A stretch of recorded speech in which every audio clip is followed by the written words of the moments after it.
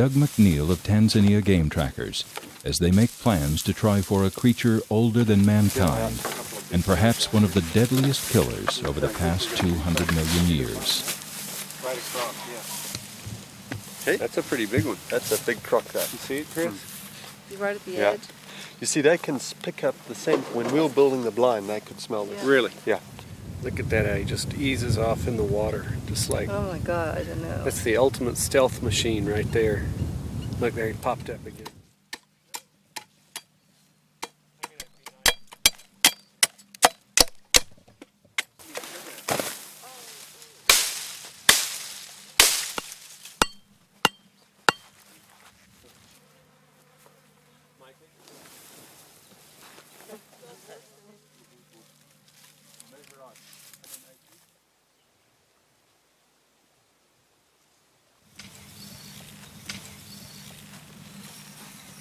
And 36. There's 15 right there.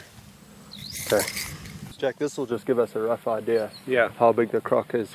Okay. So Now, where are you going to put this twine? we'll put the main peg up here, Yeah. and then the twine. What it is is almost we just, Just I'll put the three or four pegs in the ground Right. going around because these croc come in like that. I got you. bay. So it'll give us a rough idea. That'll be neat. Hey, Daddy, you cool?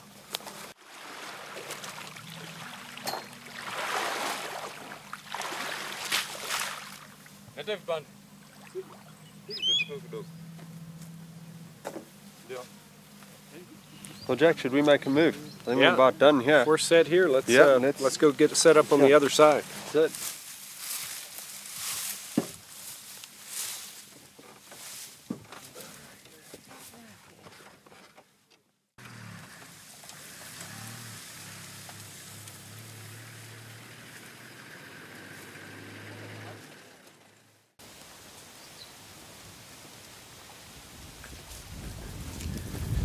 Man, I tell you, I can't believe how quickly 21 days have gone by. Here we are on the last day. It seems like wasn't that long ago we were just starting this trip. And Jack had started off with a bang. Shooting that buffalo on the first day. Yeah, literally on the first day.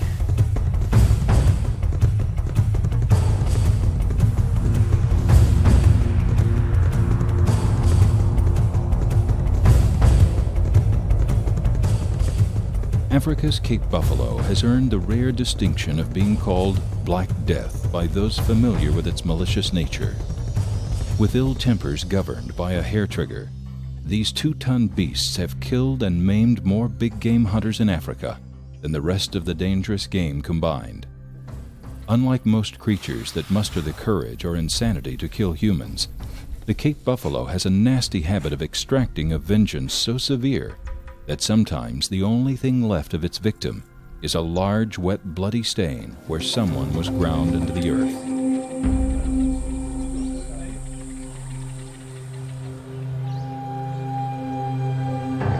So it's with some trepidation and big shells chambered that Jack and Doug strike out in search of an old bull. The buffalo here are as big and nasty as anywhere in Africa, and their great herds rival the dark continent of old.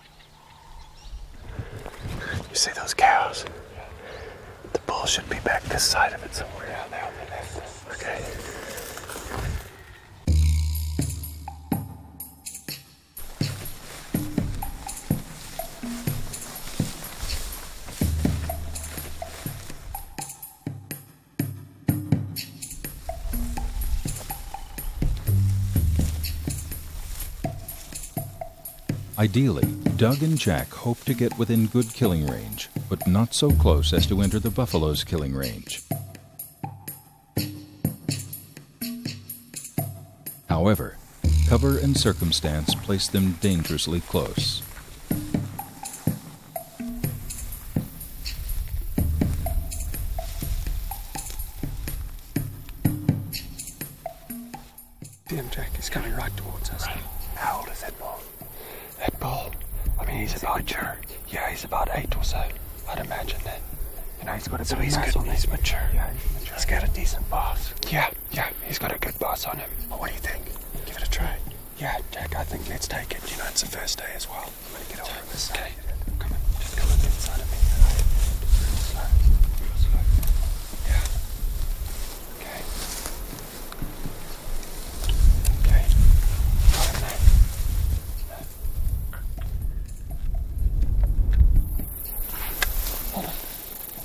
As he turns, smack him. He's gone. Okay. The bull tries to regain its feet, but Jack rushes in and delivers a finishing shot with his 375. That's good fun. Huh?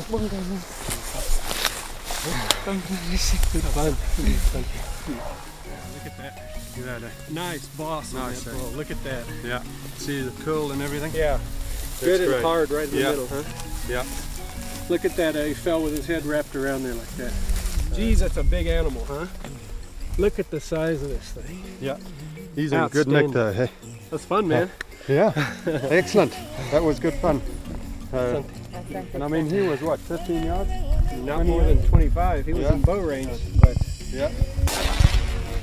Don't know with a bow. You know, he was kind of in the brush. It Yeah, yeah. Rather would have been difficult. Difficult. Uh, Look at the neck on this thing. uh, but you know, Should we pull this? There we go. Ready? Oh yeah, look at that. Look at that. It's 9, 10, 11, about 12 across, huh? yeah. Of course, you go around the curve, it might Yeah, be yeah. a little bit more. yeah, he's about 12 or so. 13, 13, 14. Uh, That was fun. yeah. Now I got some lion bait Got some line bait. and uh, a little back strap, Yeah. tenderloins. That's it. We're on our way. To keep keep something in the salt every day. We'll be in good shape. Huh? That's it. That's it. Super. So what do you think? 40? 38, 40? Yeah, he'll go just 39. Yeah. Yeah, I think. But you know, he wasn't going to give us much more time. Oh, he no, was no. ready he to was. Go. He was. Boy, gonna they are come. wide awake. You know, Did we see were that? behind that bush and everything, and he still looked up, Yeah, and he wasn't taking any chances that's it. because he didn't know what we were. No, no, not at all.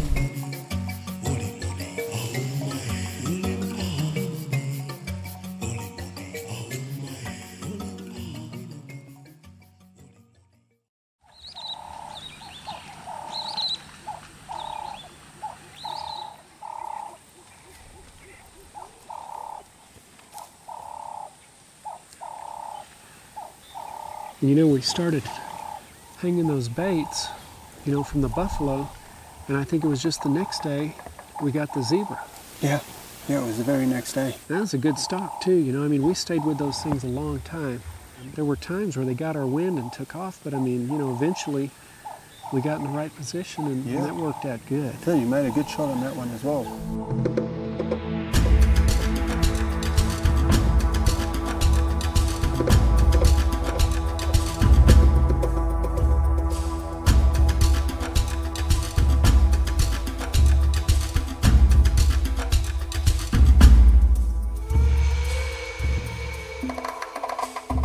Ask any lion or experienced professional hunter, and they'll agree that despite their appearance, zebras are one of the wariest game animals in Africa. Roaming the plains in great herds, their obvious stripes are in fact ideal camouflage in the stark contrast of the savanna brush. Because of their excellent eyesight, uncanny sense of smell, and skittish nature, stalking them in the semi open grasslands is one of the greater challenges on any safari.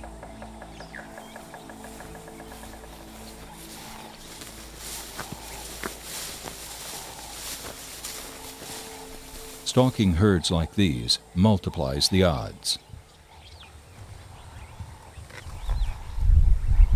I didn't see any males. Yeah, no, Jack, there's definitely, I mean, There's not even a dominant male in there. You I can thought really, that one to the left for a minute might have been, but uh, you know, it turned finally and walked away. I Yeah. couldn't see anything underneath it. No, no. You know, it's with a young one as well, Yeah. so it often indicates that it's a, it's like a female as well. Well, let's just Okay. press on then. Yeah, let's keep going.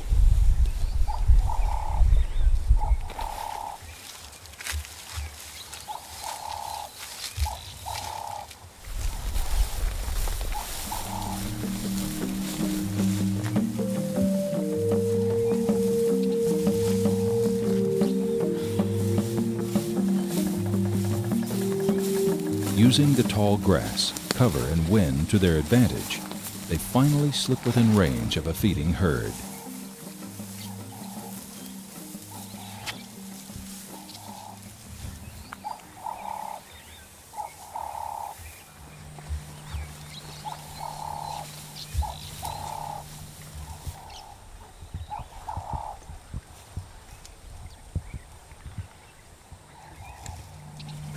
Behind him. Yeah, there's one behind him. Hold on. Just follow, follow me or turn and look. I can't get him now. Trees in the way, okay? Just hold on. There's one behind him, I know. Ready?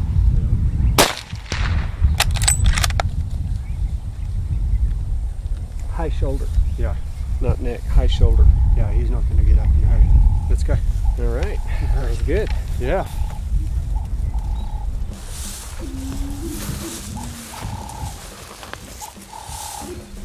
Sim, all right. That was good. yeah. That was fun. Now we got some more bait Yeah, and another rug. Look how his ear's bitten off. yeah. Shows, I mean, they, they're vicious. They get vicious. I mean, you see them fighting. Yeah. They bite the hell out of one another. But he's got a nice, nice skin as well. Look at that. And more just still. Yep. Uh, all right. So we like to see him go down. Look how worn down these incisors are. He's really You know, they're just flat right across there. So, what do you think? 12, Yeah. 15, something like, like that. But you could see he was a dominant male as well. You know, I mean, you shot him and all the others just stood. Yeah, right. They didn't run off at all. And you can see his ear here. Look at that. Yeah, that's Well, nice. Uh, great. Good old. Good shooting, Jay. All right, well, let's get working Yeah, on some bait. good. That's it. Perfect.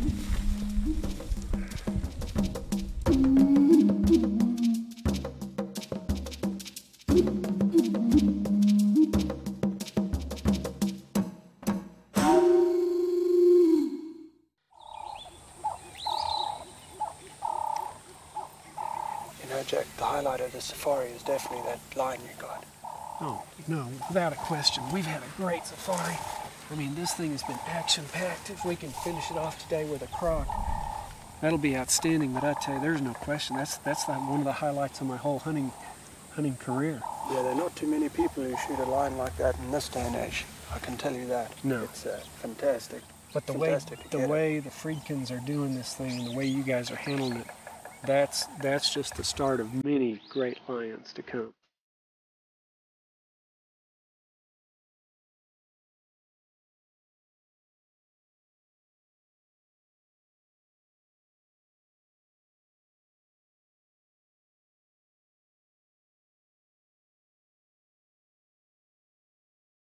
Truly the dark continent's king of beasts, free-ranging lions roam here in abundance. They are the only wild predator in Africa fierce and strong enough to regularly kill Cape buffalo. Big males can weigh over 500 pounds, and hunting them sometimes requires facing an entire pride. The first sign of lions is often spotted in the air. Vultures mark the location of fresh kills, and for lion hunters like Doug and Jack, it's an invitation to investigate.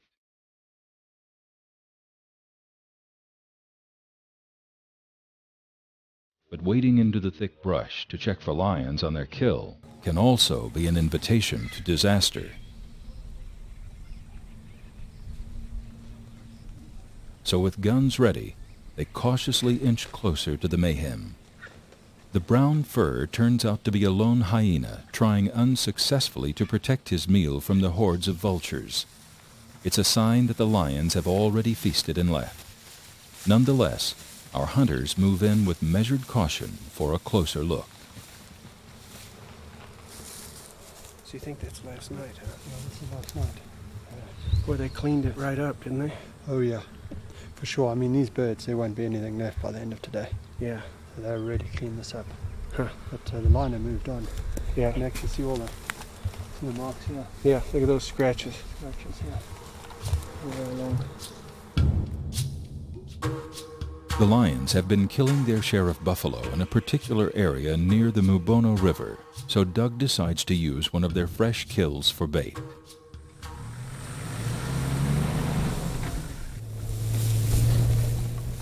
Dragging it to a new location provides a fresh scent trail for the lions.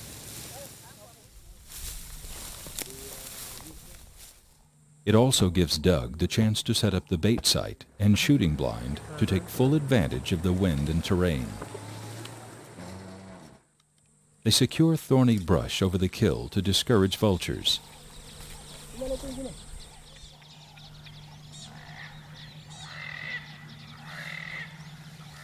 Then put the finishing touches on their ground blind.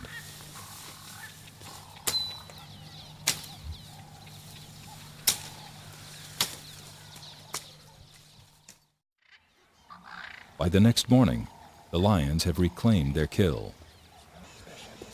Unbelievable ease. I mean, that's the second lion kill that we found. One was that mature cow, and now this, this bull one further down down there. Right, exactly. I forgot about that one.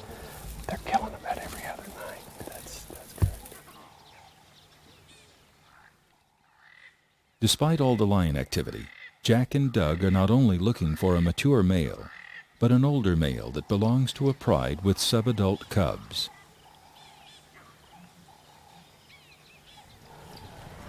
See some, there's some females over there. Let's just settle down in here then, I guess, for a little wait.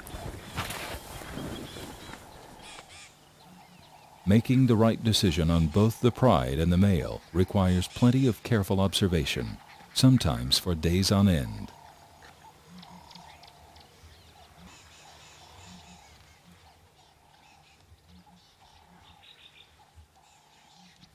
And by day's end, Doug has a good evaluation of the pride in this area. I think that's about it, Jack. Too dark.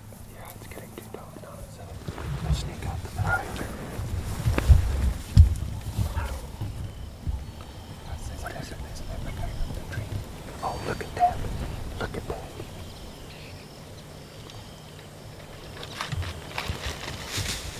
That's unreal. You don't see that every day. Hell, we saw buffalo right here. We see leopard, lion. Now all we need is elephant. That's it. Okay. All right. I'll follow you. I got it. As if their great ears heard Jack's comment, a herd of elephants does in fact show up, in camp, as the hunters are enjoying drinks before dinner.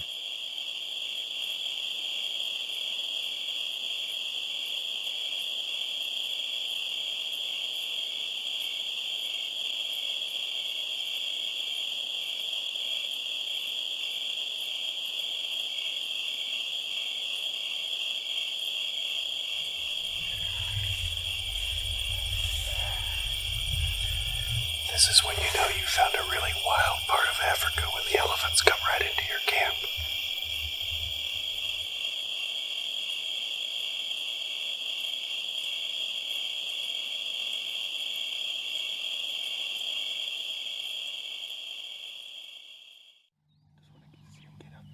Early the next morning, on their way to the blind, they spot the patriarch of the pride. It's the big male.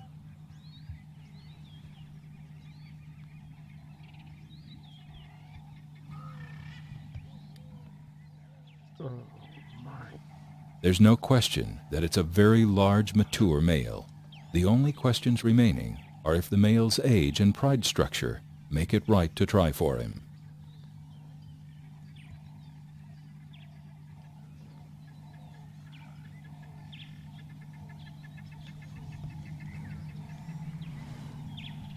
That's a big cat. TGT's records show that the big male had been with the pride for at least three years, or he had been the dominant breeder during that time, and the subadult cubs could survive without his further protection. The lion is at a point where natural succession within the pride is imminent, and to wait longer would likely guarantee that he would disappear from his current role as a pride leader, only to be taken apart in a solo battle by his mortal enemy, the hyena.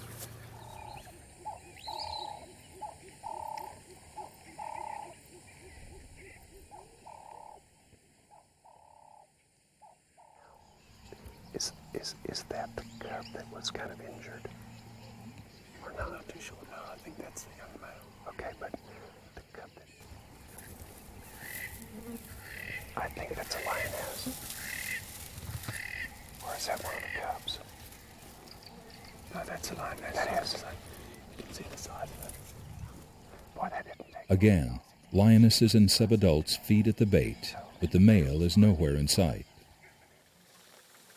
Unexpectedly, the truck returns with the answer why.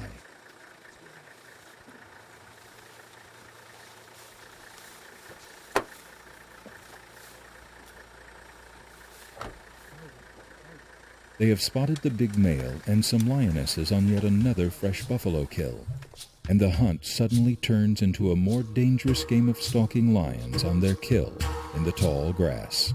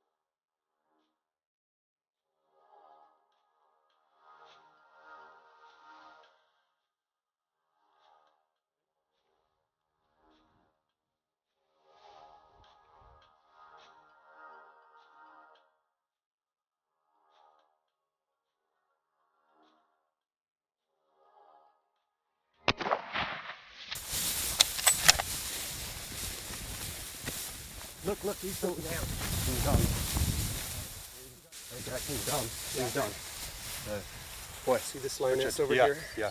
Watch her. Watch her. Just. Boy, she's. There's another one on the. Look at that tail. right. Look at her flicking that tail. Oh yeah, yeah. Let's just let's just wait here, and uh, let's let him settle down. So we may go and get the car and just. That's the one that looks like she's upset. Yeah, yeah, yeah. Oh boy, she's she's mad. This one's moving off. Yeah, yeah. That's yeah, good. Yeah. Let's go. Let's just move. So he's down on the grass there somewhere. Let's go. Very slowly we'll go out there. Let's go ahead. Almost there. I think I can see him right Yeah, there. yeah. You see that? Yeah. Right That's him. between those two Yeah. bushes. Yeah. That's him We down. Let's just go around him as well. Yeah, I think that's yeah, him. that's him. Let's go. Go.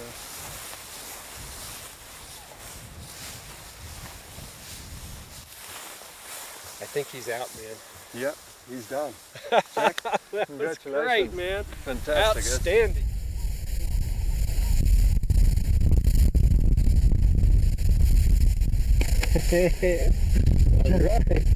Good job, man. Look at that. Ooh, what a good looking cat. Look at the head on this guy. Look at that. See the coloration? Man, look at this all the way down here. Yeah. Man, unload my gun. Look at his teeth even. All right. that worked out great, Right? didn't it? Yeah, that was fantastic. We got good footage of him walking up and Look at the mane on this Look guy. hey, Man. look at that. Hey, there's teeth on there. Mambo no twaipenda, hakuna matata. Jambo. Jambo. Jambo bwana, habari gani? Mzuri sana, wageni wakaribisha mbono yetu, hakuna matata. Na bingwa twampenda, hakuna matata. Na Simba twaipenda, hakuna matata. Na nyumbu twaipenda, hakuna matata.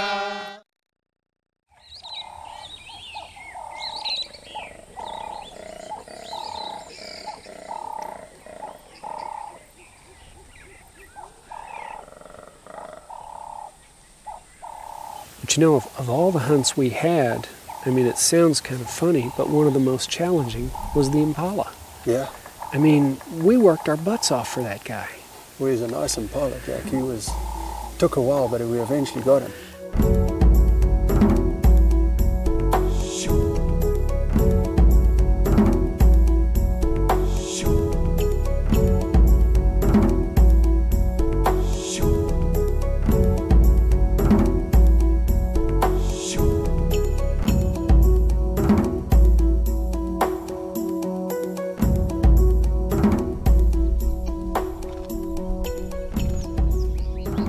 Perhaps the closest thing to a white-tailed deer in Africa, the graceful impala represents the classic plains game of the savannah.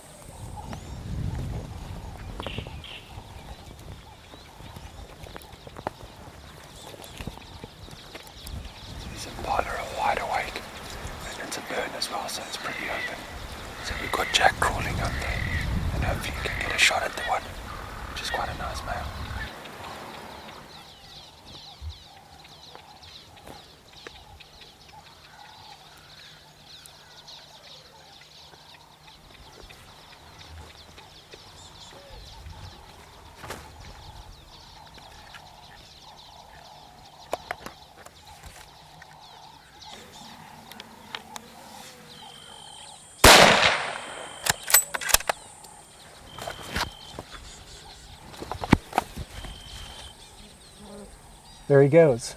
He's going down. All right. Yeah, I nailed this guy good. I, Yeah, you heard him.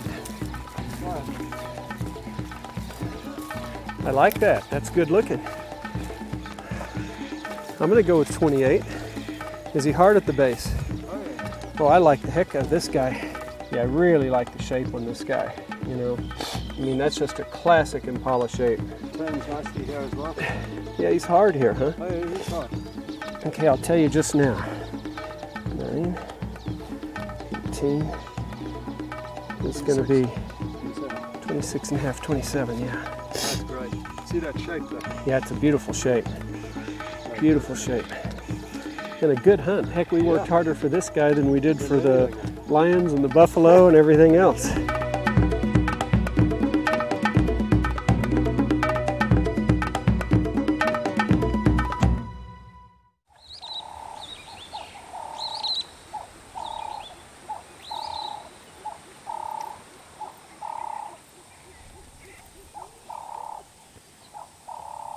Look at this big guy over here with just his head sticking out. Look at the knobs in the back of his. Yep, you see the heads are flat. Yeah. Well, that's a sign of a big croc and that big. And they got to be old. Oh yeah, to get like that. I mean, like that buffalo that we got, that was one old buffalo. I mean, he may not have been the biggest. He was just under 43 inches, but he wouldn't have gotten any bigger because he was probably Right. 14, 15 years old. I mean, he was on his last legs. Yeah, you looked at him, his hair was going, yeah. and uh, it was Oh. a great. That's those That was a we fun be shooting. Yeah, and, and to be able to crawl in on him like that, I mean, you know, where he was when he first saw us, we didn't really have a shot. And I thought they would go before we got a chance to get one, but that crawl was, was pretty fun. Oh, that was an exciting hunt. Yeah.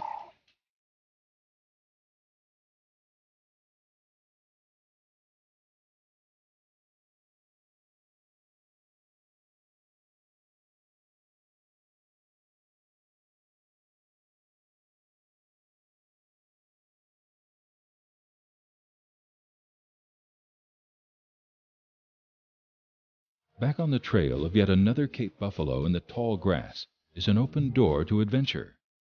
But it comes framed with an underlying tone of danger. Sometimes the dangers are clearly standing there, black, ominous, ready to charge with little reason. Other times they come where and when you least expect them. Two of the main challenges facing Doug and Jack are first finding the ideal bull within the sprawling herds here, then closing the distance past all those alert eyes, ears, and noses to hopefully get within range.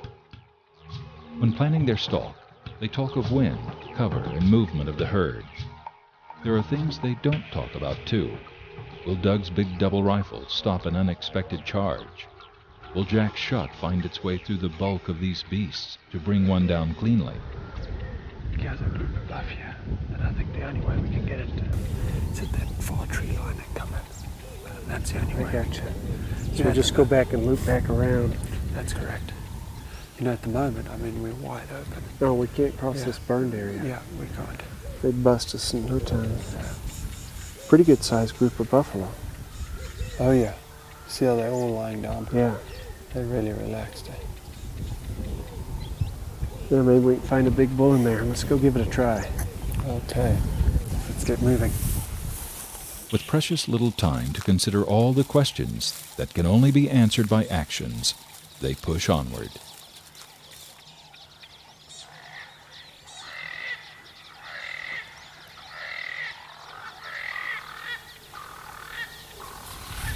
Jack. Yeah. There's only one really old bull. He's on the sort of right hand side. Yeah. And he's the only one with a hard head at the moment. So let's stay here and just see what else. Yeah, let's see that. There's a lot of bulls laying. Yeah, that's it. They're all pretty tight knit at the moment. Jack, we're just going to follow this little tree line down. Right. Try and have a look at the others. Okay. And if those are the bulls, you know, we to keep our nose to the ground. All right. And get up on it- it'll Well, this wind will give us a little cover walking too. Oh yeah. All right, let's go.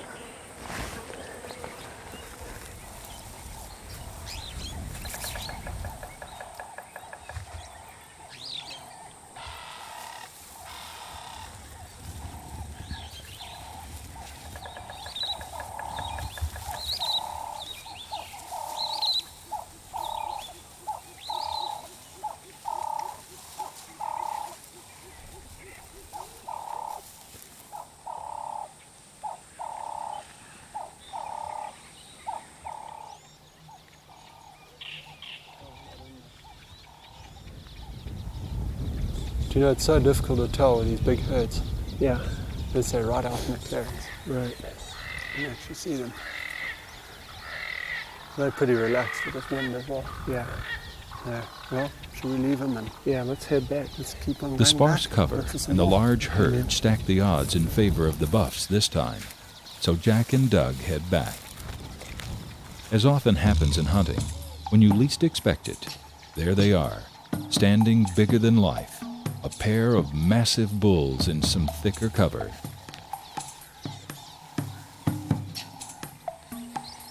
Despite being spotted by the biggest bull that's clearly locked on his position, Jack crawls forward, inching his way closer to have an unobstructed shot at the old bull.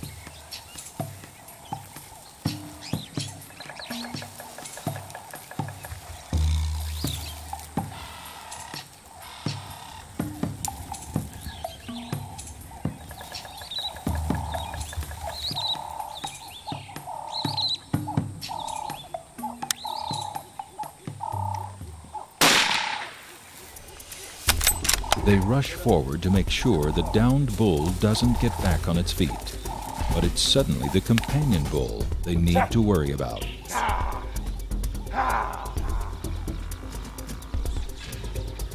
He doesn't like it, does he? That's a boy.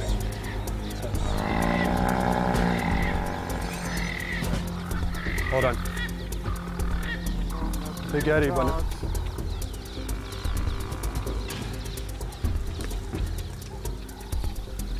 Okay. Hold on, Jack. I, these things come for you. I tell you. I've had to, I've had to shoot another, another one like this before.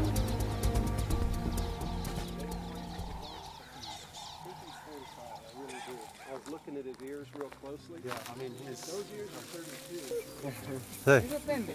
Deg. Guerra. é, é, Sophie. Ah, Eddie, Gavisa. Magnificent. That was neat. That was just neat. He's got a nice turn on him. You know, his boss is all worn down. He hasn't got a huge boss, no, no. but it's a it's a fantastic buffalo. yeah, that's a nice looking, nice looking critter. Nice looking critter. Absolutely. Well, let's get some still pictures and Yeah, get him, get him going. fantastic. Congratulations.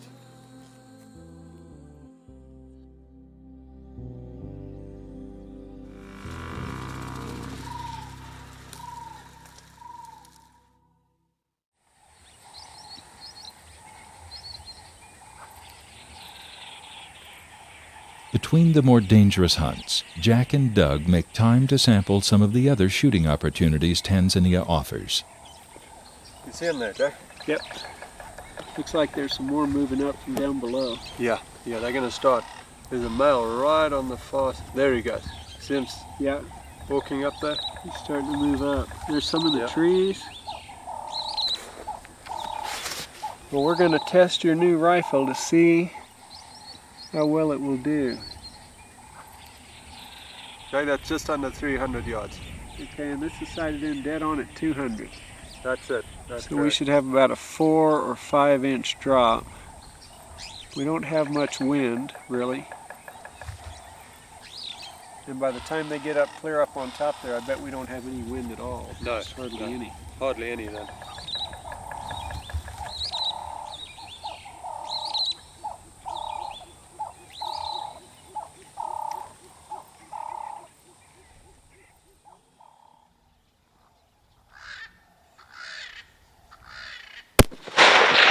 He's got it. Yeah, this is sort of like an African prairie dog hunt, more or less, except they're baboons instead of prairie dogs. But we just picked that guy off right at 300 yards. I'm kind of liking Doug's new rifle. It's a 300 Winchester Magnum, Christensen arms. I don't think we tested its uh, full capabilities, but it sure did a nice job on that on that baboon. It came right off the top of that rock.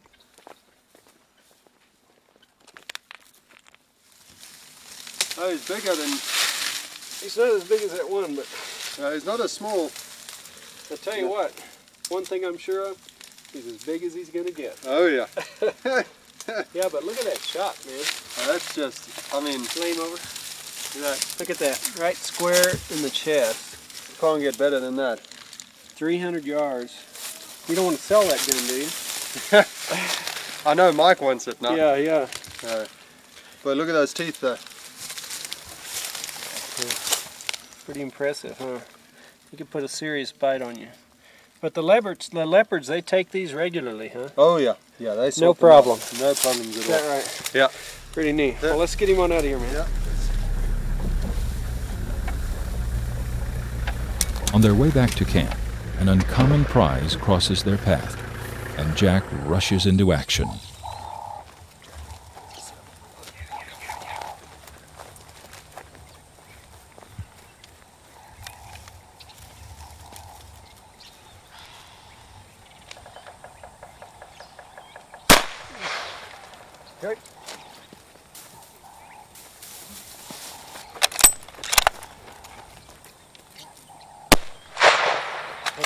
Huh? Okay, got it? Man, look at that. That is a rarity. That is a rarity. Jack. Neat. Look at that. Beautiful. That skin. Wow. That was some fast action. Oh yeah. That was You some know- shooting there. You set the sticks up there, and I, I think that first shot went low. I think I just skimmed the bottom Yeah. part of him with the solid. Yeah. You saw that hair. Yeah. And then when he took off running, I just got a lucky shot. Wow, beautiful. One of the things I've always wanted to get was a serval cat, which Doug spotted as he crossed the road. And this happened very quickly. We, uh, we jumped out, moved into the brush about 50 yards, and he picked him up again and set up the, the shooting sticks. And he was just moving across behind the brush. There was really no opportunity to get on him with, with the video, but uh, I took the shot with a solid and, and hit him hit him a little bit low. I don't know if it was too low or not, but it hit him, you know, just an inch or so below where I probably needed to. Anyway, we took off running after him, saw him going through the brush again, and I was able to take another shot which also hit him and, and put him down, but uh, just a beautiful, beautiful animal. Yeah, he's an old cat as well. You look at yeah, his ears. yeah. You know, he's, Real he's a big male as well. He's a really big male. This. This is a good sized cat. Well, I tell you what, let's get him back to the truck. Okay.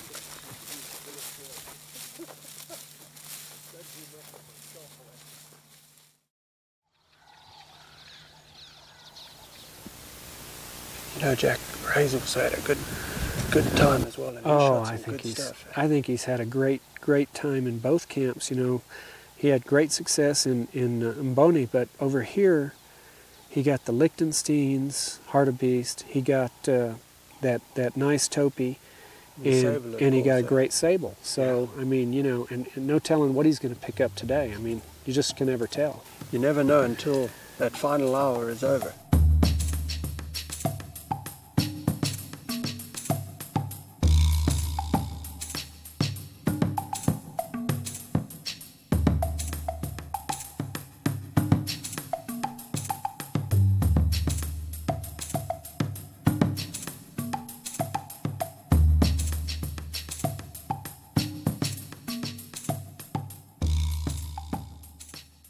Jack's longtime friend and hunting partner, Ray Mirsky, has been enjoying the spectacle of this Tanzanian safari.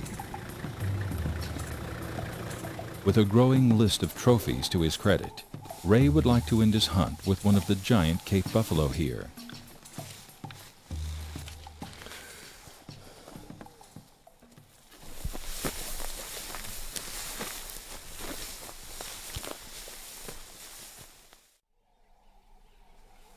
Normally difficult to approach, this old bull dozes in the shade as the party moves in for a closer look. Wouldn't you know it, the horns aren't what Ray is looking for.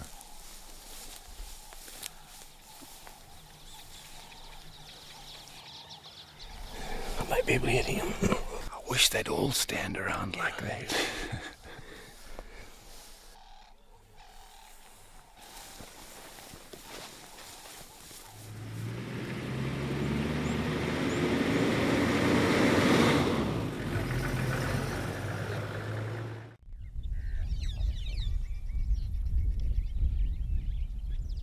The next day, however, Ray and his team strike out in a different area. It's not long before they find buffalo aplenty, and the hunt is on.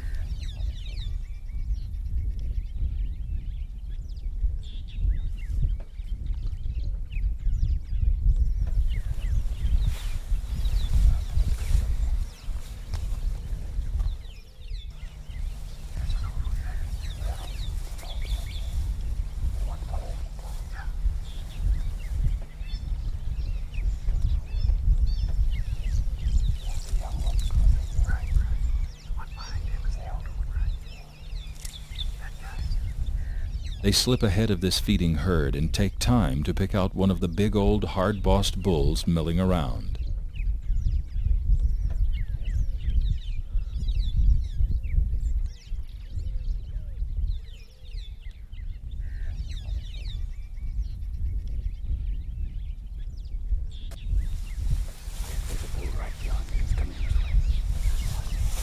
As if guided by fate, one of the largest bulls eventually feeds into the clearing in front of Ray. Right or left? The one on the left, okay.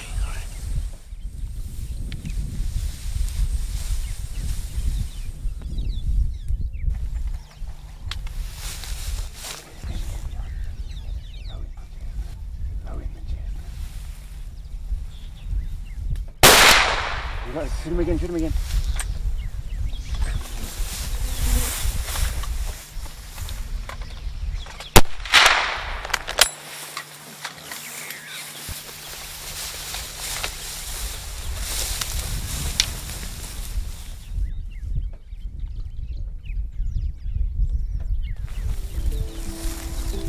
He wasn't standing there. Oh, is that right? Well done, yeah. See, you see that's that green bush behind it? Yeah, that's very. Good stuff. Oh man, that's great. Alikuwa.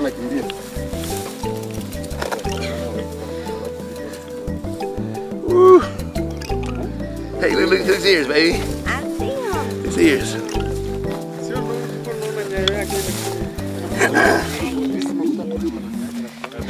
Let's, let's set him up. Yes. Jump. Look, look, look, look, look, the horns, yes. Now let the anda He's so esquina. beautiful. Anda let the esquina. Wawili. Let the esquina wawili. That's what this is on. Thank you, Tony. Thank you, brother. Thank you. That's nice. That is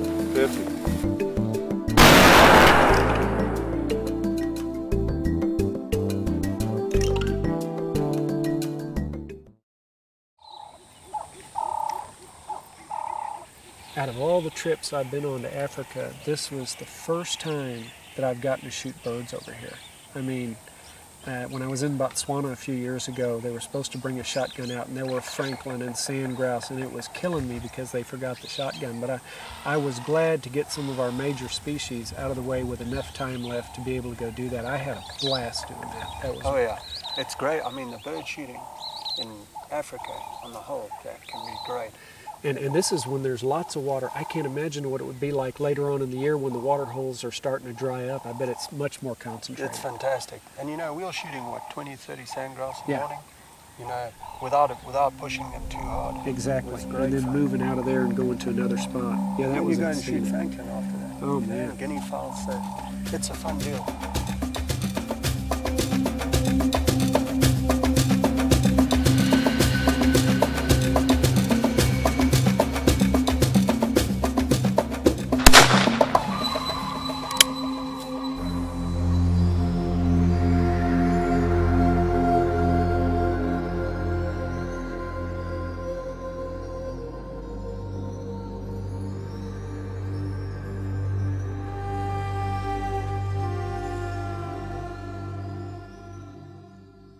An avid wing shooter, Jack makes time to sample the world-class sand grouse hunting here. Like dove hunting back in his home state of Texas, morning and evening setups near water provide breakneck action. Plus, sand grouse are known as some of the finest table fare in the world.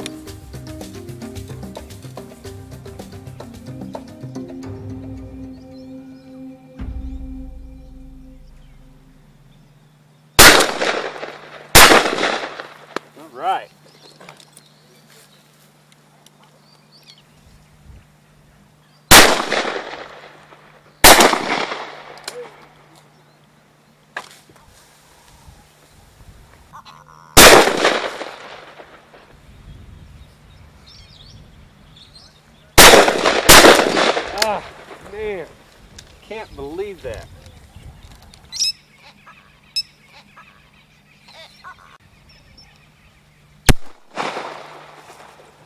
All right. We've shot about 20, 25 of these sand grouse. I think we could stay here and shoot a whole lot more, but uh, we've got to go get some spur fowl and some francolin. This has been an unbelievable shoot. And these birds just keep coming. I mean, you can see these big groups over here still flying in. But we're going to get out of here so they can water and uh, go try to get some, some francolin and some spur fowl. Are these all the same species of sand grouse? No, or- Jack, you've got two here. like we that's, that's a yellow throated. Right. You can see here he's got a yellow throat on him. Man, that's a beautiful Beautiful bird. bird, yeah. And he's the bigger he's the bigger of the two. And then this one And then is, this is the chestnut bellied sandgrouse. And, and he's the first one to come in. really they come in Yeah, earlier. They come in earlier and then the yellow bellied he comes in last. Well, I tell you, that was pretty impressive last night when they served us those kebabs at dinner. These things are just unbelievable eating. Yeah, they're good they're good eating. So Yeah. we'll do the do the same again tonight. I hope so. Good. That was excellent. Well that was a good shoot. That was outstanding. Thanks a lot. Hey, let's uh, gather these up and see if we can get some spur Yep. fowl or something. Definitely. Let's go and do that. All right. On the way back, they try for some of the other bird shooting opportunities here.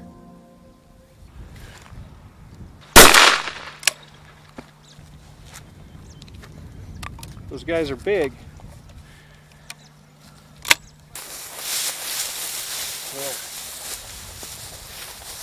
That's nice looking, huh? Yeah. Yeah. And, and this one is just called spurfowl. Yeah, this is a spur fowl. Yeah, grey spurfowl. Good looking spur bird. Look at these Oh yeah. Chest feathers here. These, He's a I bet these are good eating. Oh yeah. We get them to cook some of those up, you think? Yep. Tonight we're having some Some larger birds, such as these guinea fowl, would rather run than fly. So Jack gives them reason to take wing.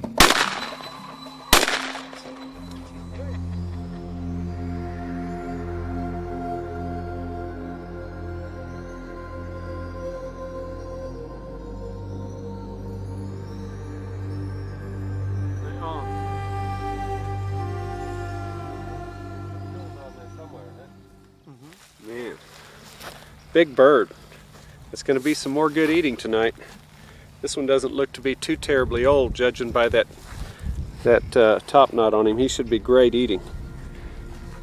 With one final morning to try for sand grouse, Jack returns to the watering spot. And like before, the wing shooting action is fast and furious.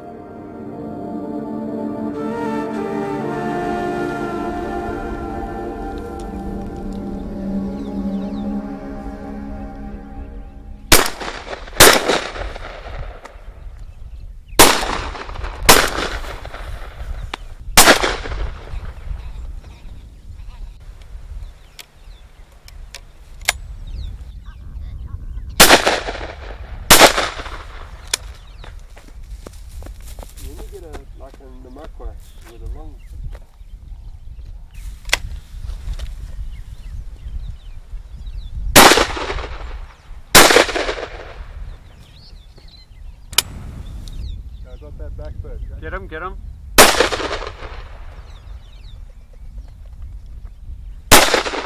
Yes.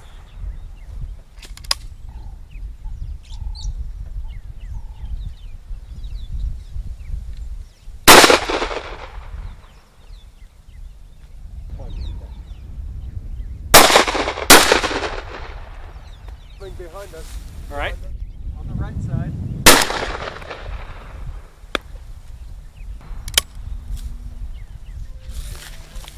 Man, what a nice shoot. We got about another 20 birds for the pot. These things are just outstanding table fare. And uh, they're awfully fun to shoot as well. This has been a great, great spot for us. We've shot it two days. We're not going to shoot here again. These birds need some rest. And uh, we might find another spot. We've got one more morning where we can go out and try this again. But man, that was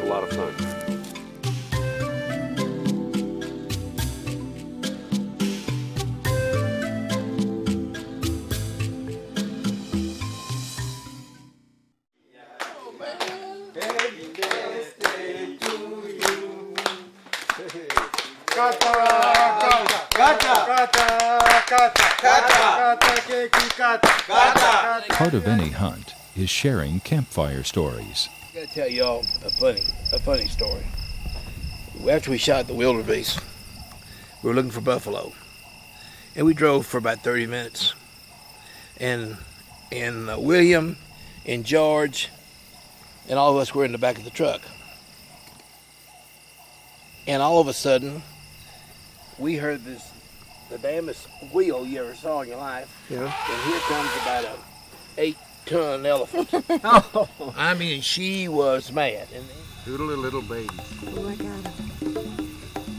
Gonna come again. let's go, let's go, let's go.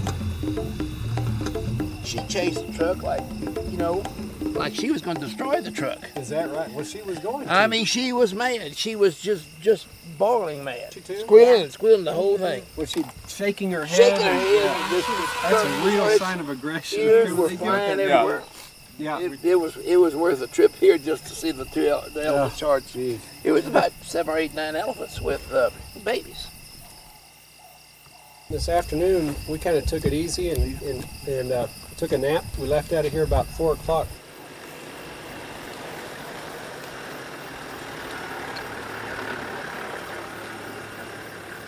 What's that word he was yelling at us? Nyoka, Nyoka. which Nyoka. is snake. Yeah. Snake. Where where nashika?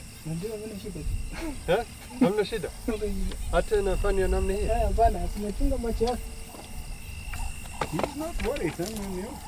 That's the Yeah, he he will catch it. So he went in under these rocks, and we got the shooting sticks and tried to dig him out from under there. Oh, there he is. I tell you what, when those little guys spit at you, it gets your attention a little bit. Uh, can't tell how big he is, but he can spit about eight feet. I can tell you that much. But I Uh, got that. I want to show I that promise you, later. man, I would have fainted. I would I would have so gone.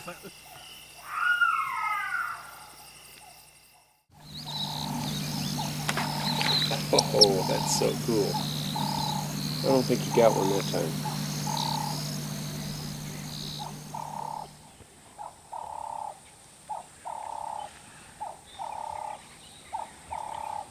I've really enjoyed being around this river because some of this hunting, you know, with the crocodiles and the hippos, you know, I've never had an opportunity to do that, but to be able to fly out of one camp, land over here, organize our gear, and be out and get that hippo the first afternoon, I thought that was really cool. Yeah, we done. We did well there, and that's a nice old bull as well. Well, it's a good bull. You know, I don't know how you can really judge them any more than we did, other than making sure that it that it's that it is a bull. But the big challenge is to get him nailed in the head and and it. you know not wound him. So And I mean, that was a fantastic shot. I guess the only way you would try to hunt for a trophy one of those, you'd literally have to see him. Yeah, all Open you see on mouth. his lips, you know, you actually see those teeth almost sticking through sometimes. Really, and lifting the lip out. up. Yeah, that's it.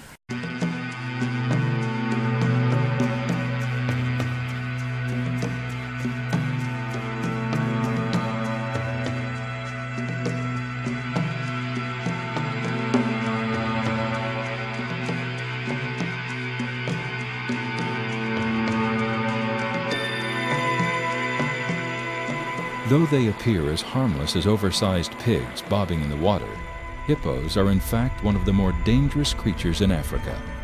Surprisingly fast for their size and equipped with bone crushing tusks, they are formidable beasts, especially dangerous when encountered on land.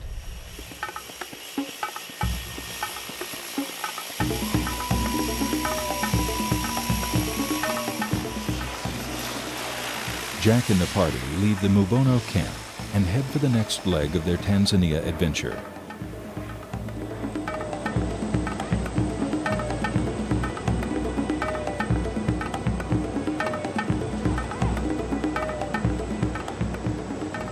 Their destination is the Ugala River Camp with a new host of hunting opportunities.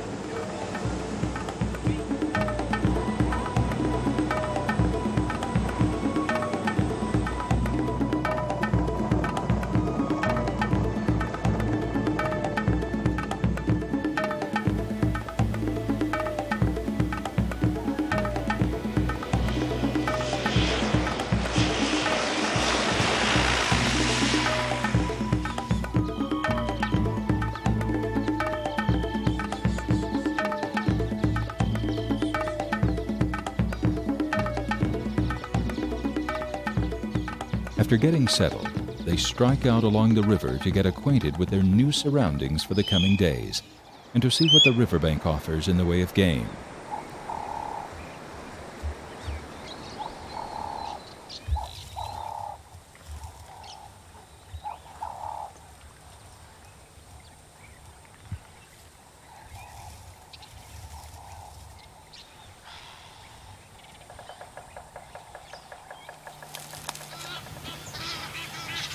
There's no question that this place is teeming with hippos.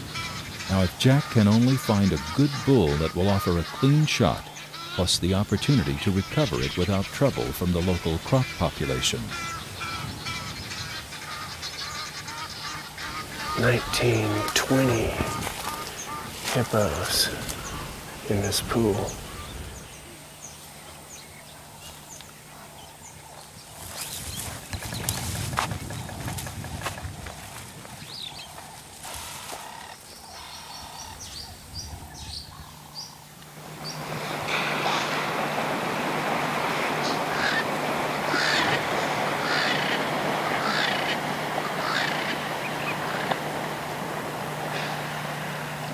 Surprising hippos at a distance when they can easily escape into the safety of the water presents marginal risk to the hunters.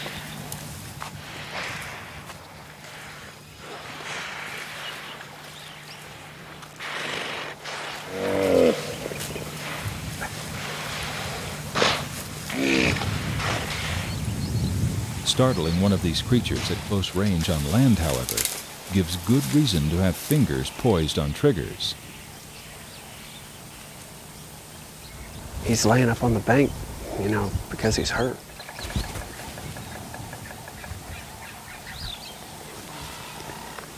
With his wife Chris along on the trek, Jack is especially cautious, with gun at ready. He's just a bull that's been in a bad fight. He's been in a bad fight. He's got cuts all on his back and blood.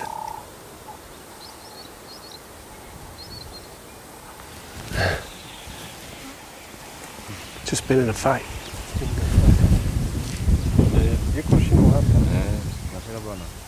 That's cool. Yeah, it was real neat. I thought for a minute he was going to come. Did you when just when you did that? Oh, yeah. I know you do. Let's go see what.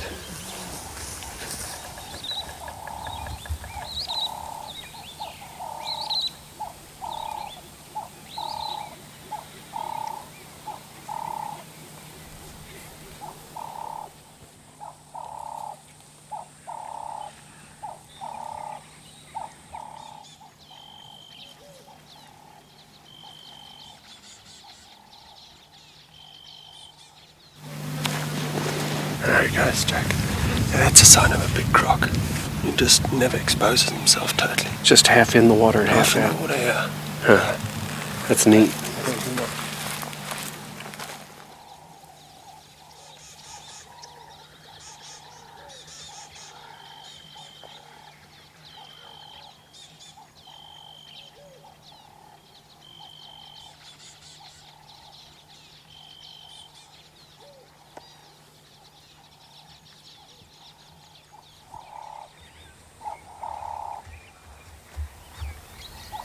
Looks healthy to me.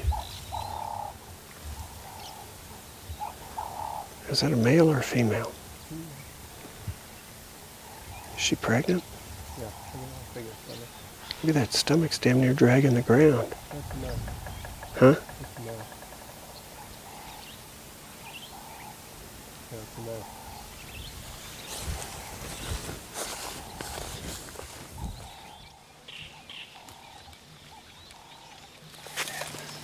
What cool is that?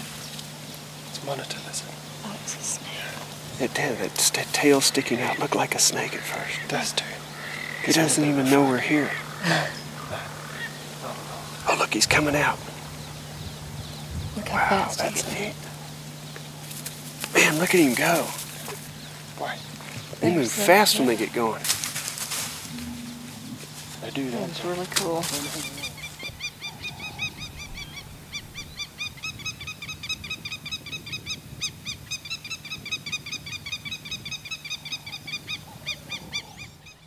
After a short rest at camp and a change of clothes, They head out in the afternoon sun to try for a hippo on a different section of water.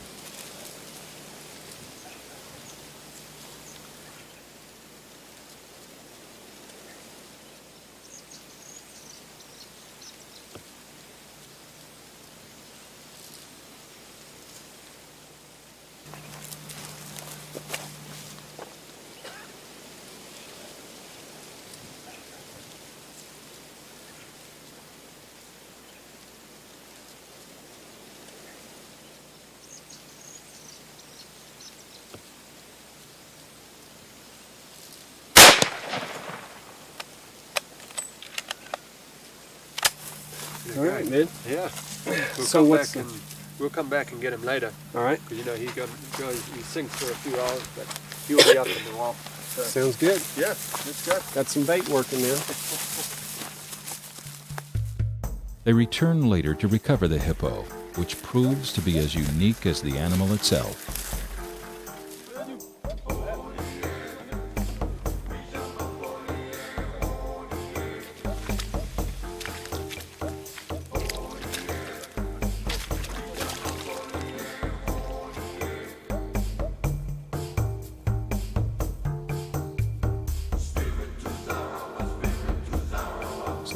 Cut um, just a place to slip that rope in, in through Yeah. the hide there. And through the hide there. That's what they're doing now, Jack. And then, uh, yeah, we'll hook it up to the vehicle and pull him out. But you will you'll, you'll hook it to a foot or something when it gets over here, right? Uh, or will that yeah. do it? Or it should do it. You know, once it's going, Yeah, you just got to keep on pulling.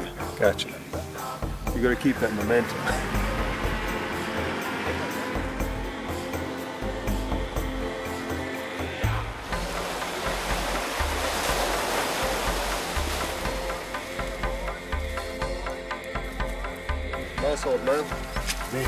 teeth here, that's just impressive. Look at that. Boy, he would cut you in two, wouldn't he, if he got a hold of you? Look at that. See his teeth? Ooh, They're not monsters, but he's a nice. that's pretty darn nice. Yeah. Uh, but you see the size of that head? Wow. Crocodile's cheesy, right? Yeah. And the shot was on the other side. Yeah. Now that's all rips just from. Yeah, that's croc. Yeah. See this? Look at that. Man, it looks like a giant armadillo's foot. Huh. Feel that skin. It's kind of rubbery Yeah, it feeling. is. That's It, it definitely.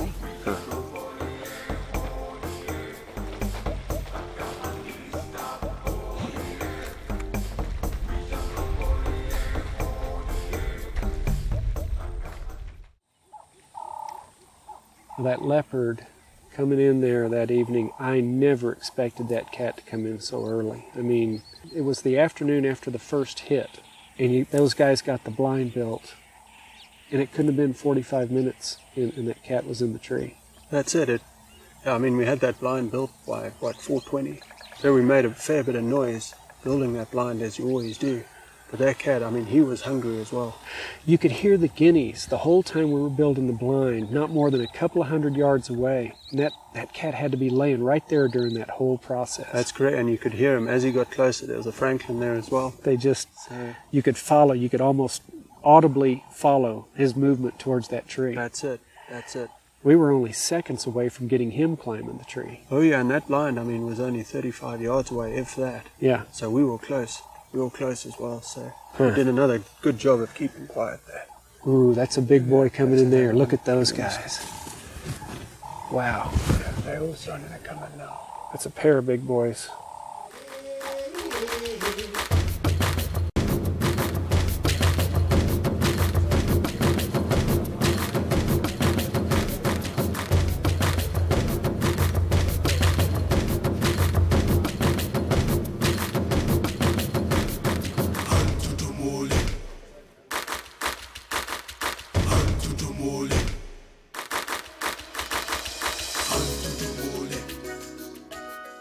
For pound, Africa's leopard is the most deadly predator to stalk the savanna. It's a remarkable blend of graceful beauty, ghostly stealth, and savage power. It is cunning and reclusive, and always a marvel to see. Normally, Solitary killers in the darkness of night, hunting leopards requires baiting setups in the perfect tree with some other unique twists.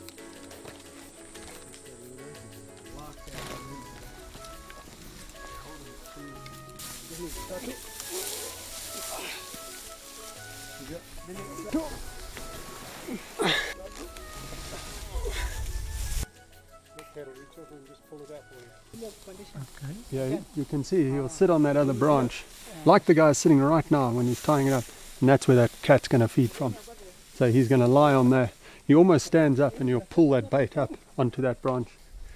I guess this grass pretty well keep any of the birds off of it, or Yeah, Jack, it's just to keep the birds off, and you know, it's from above, they're not going to see it. so that leopard will just pull it right out of there. Oh, yeah, he just gets right in there and feeds. It doesn't worry him. As the afternoon sun fades the landscape into softer tones of golds and greens, the sharp calls of birds alert Doug to an approaching predator.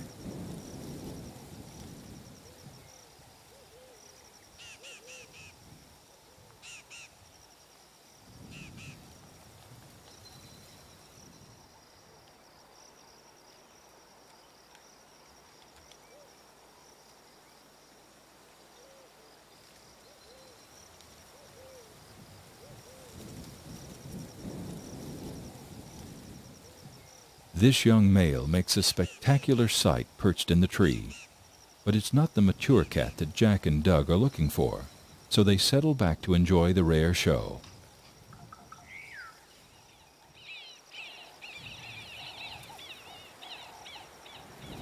It's not powerful enough to pull up the heavy bait to eat, so it uses its claws and some acrobatics to get at the bait.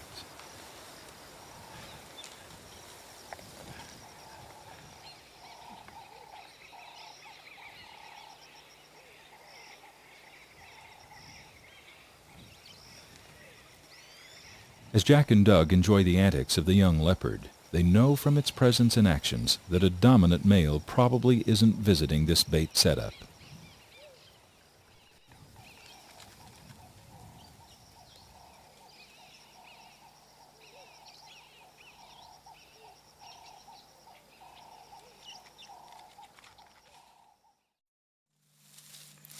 So the next afternoon, with Chris and company, they head to a new setup further down the Mubona River.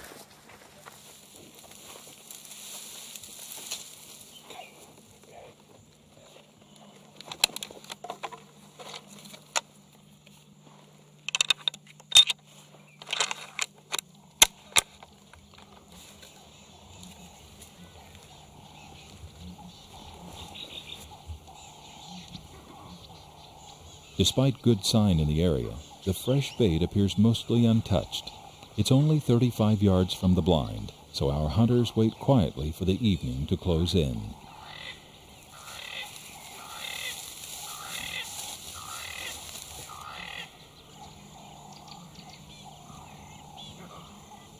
Long before sunset, and when they might expect a leopard to show, the birds again speak the universal language of the jungle. A cat is coming, and this time it's a big one.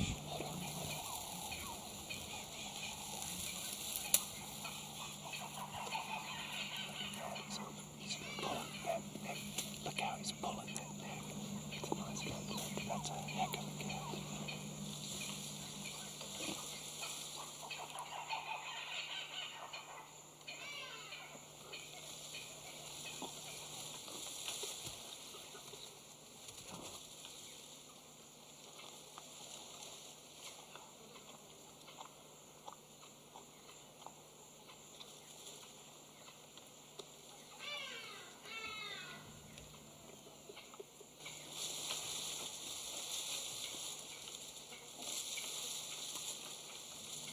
Get up then.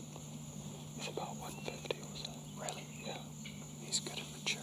He's good and mature, yeah.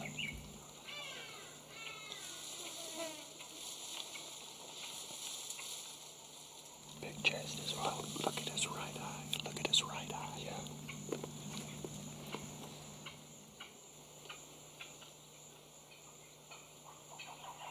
This one's a beautiful large male, blind in the right eye.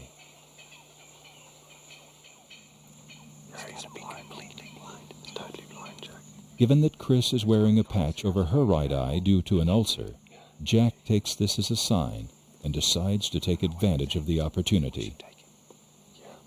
I think we should take him. He's as good as we're gonna get, yeah, definitely. Well, he's beautiful. I mean, he's magnificent cat. I can't believe he came in this early. Yeah, and I mean, building this blind and everything. When he stops feeding and he rests again, yeah, that's the time you want to take him. So we got lots of time. He's feeding, he's comfortable.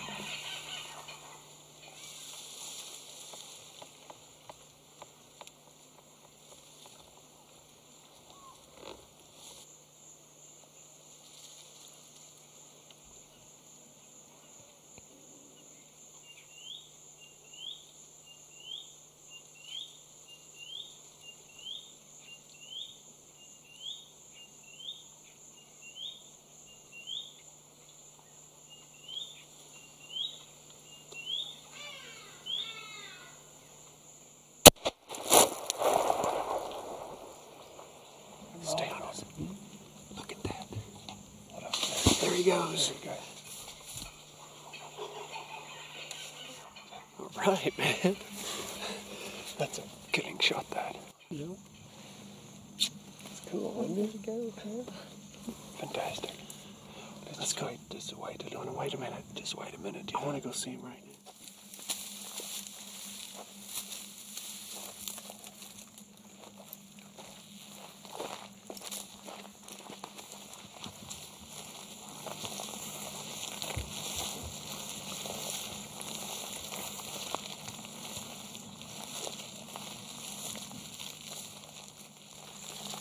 I think he's toast, man. Yeah, he's just, you never know with these cats. Let's just get up on him. Man, look how pretty that thing is. Beautiful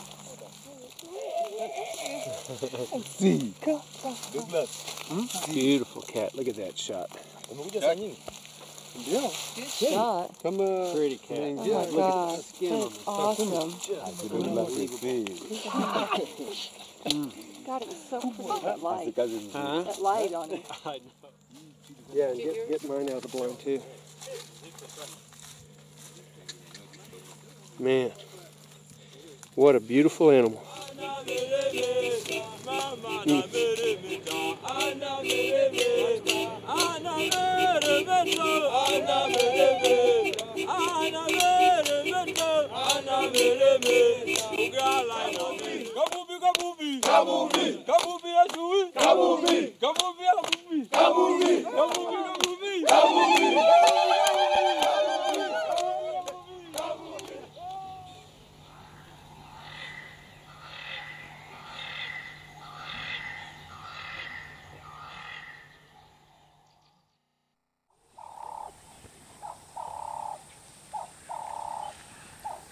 Jack, don't forget your Tommy Oh yeah, my Tommy. How could I forget my Tommy? Those are cool animals. You know, I mean, that wasn't uh, really the most exciting hunt, but that's what I consider like an animal of opportunity. And even if he didn't have super horns, my biggest interest in him after eating the one that Ray shot was to get some more of that table fare. I mean, Yeah. that was really good. Yeah, they're magnificent eating. And it's just a beautiful little animal. I mean, it really is. I mean, it's uh, the colorations on it are just outstanding. So I was happy with that. You know, I mean, it was good. Yeah, and it was a fun hunt as well.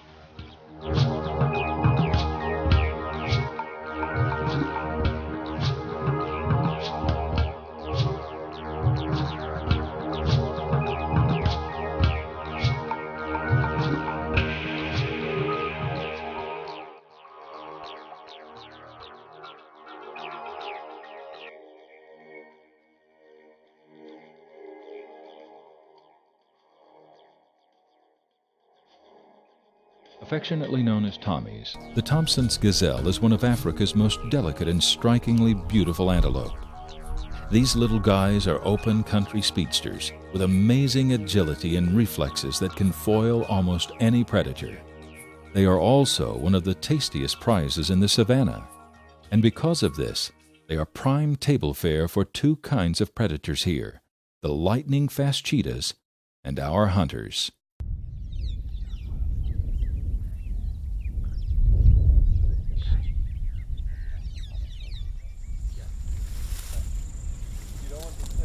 I don't think so.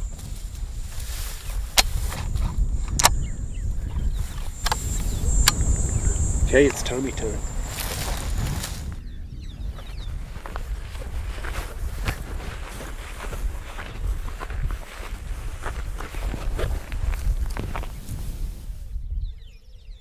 Circling in for a shot through the tall grass can hold some hidden surprises.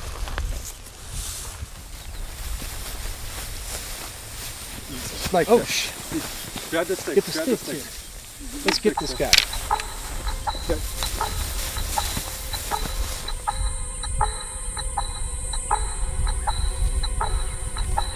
And they think they think he's dead. You know, he's acting dead now. Right. And then you give away. And he's eaten recently. Yeah? There we go. Okay. He's a beautiful specimen. Yeah. Absolutely magic. Now that would give you a nasty bite right there. Yeah. Look at that. Look at that uh, blood oozing. That's probably venom, isn't it? Yeah, venom or even from what he's killed. Eh? Yeah. Maybe, you know, they often regurgitate when they're under stress or anything. Yeah. They'll regurgitate their food as well. Yeah, he's acting like he's completely dead, but he would Yeah. completely nail you. All right, cool. Okay. Let's keep going. Better to see him before he, He sees gets us. You gotta watch those buddies, eh? Okay, well.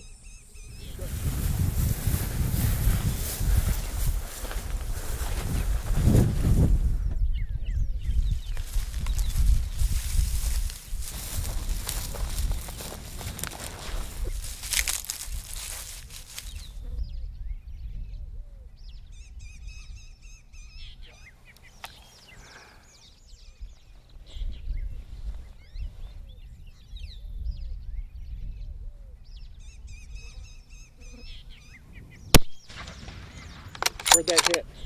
Left. Left of them in front.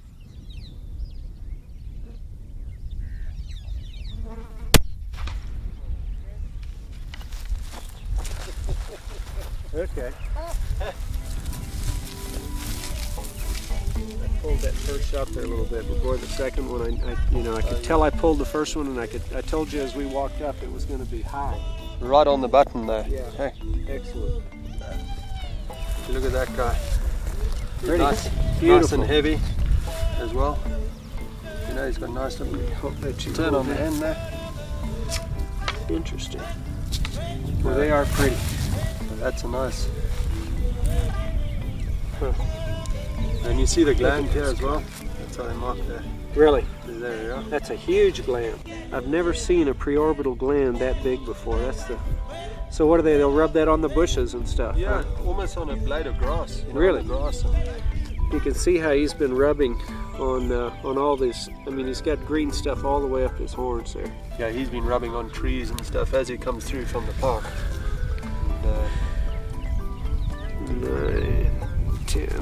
11. He's about 12 and a half, 13. he'll huh? be about 13, this guy. Yeah. Yeah. They're just neat little animals. Yeah, You that know, they are. You can't uh, can't weigh 45 pounds, I wouldn't think. Yeah, not much more than that.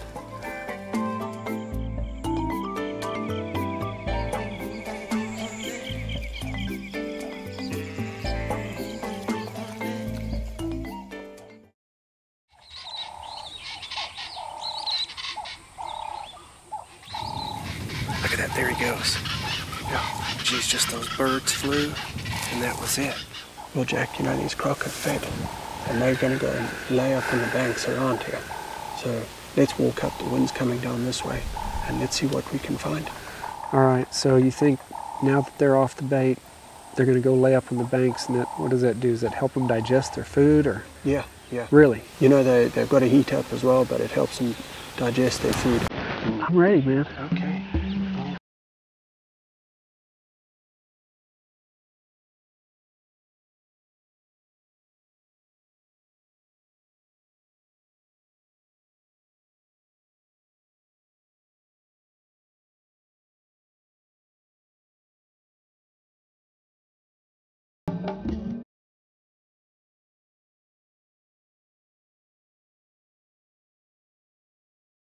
Prehistoric throwback from Jurassic time, the African crocodile is exclusively programmed for two things killing and eating whatever is careless enough to venture near the water's edge.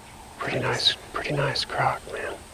Yeah, he's a nice croc. I'd say he's about 14 foot. 14.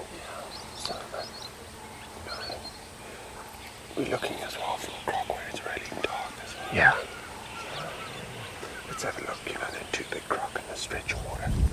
We can chuck a bait in and watch them and compare. See them, so. All right.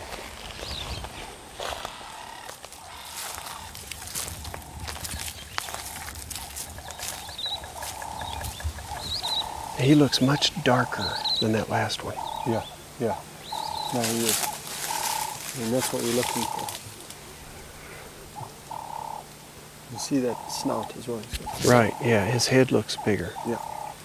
Where do you want to go to try to get a better look at him? We're just going to keep, keep going around slowly. Let's go. These giant reptiles have been known to snap their deadly jaws on plains game animals many times their weight, dragging them quickly into a watery grave. Though simply seeing one is no great feat here, where they are abundant. But actually making a killing headshot on one on land and on one of these 14 foot giants is a different matter altogether.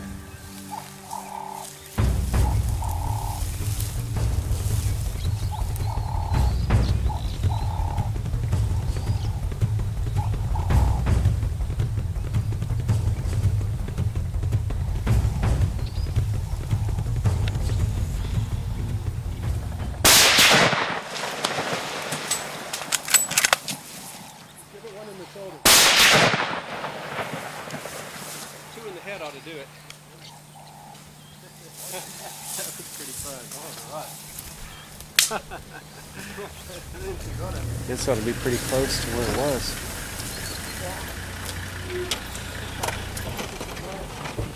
You see blood in the water? Uh-huh. It's a good sign. Okay. See what we got here, Jack. Ooh, look at that. Oh yeah. That's a nice croc. No ground shrinkage there. No, ground not at all. shrinkage. Not at all. Look at that guy. Yeah.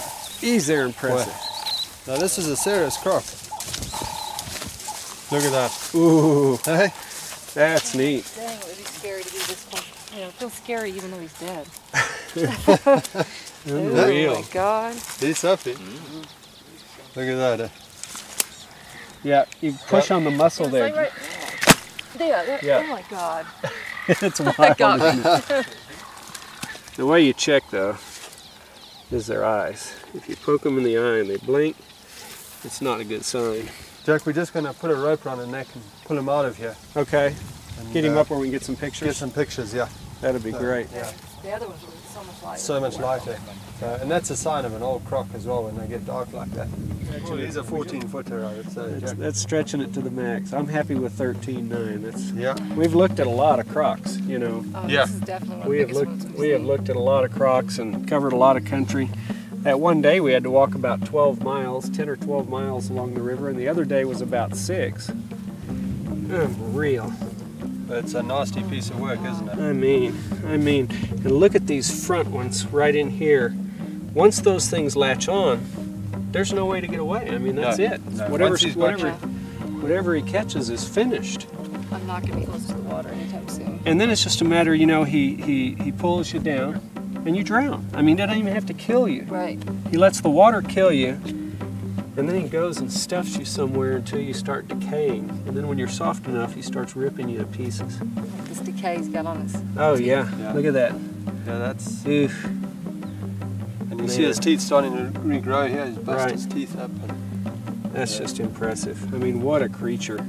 No wonder these things have been around for millions of years. You pretty know? prehistoric, isn't it? Yeah, Big lizard. That is cool. Well, should we go and take some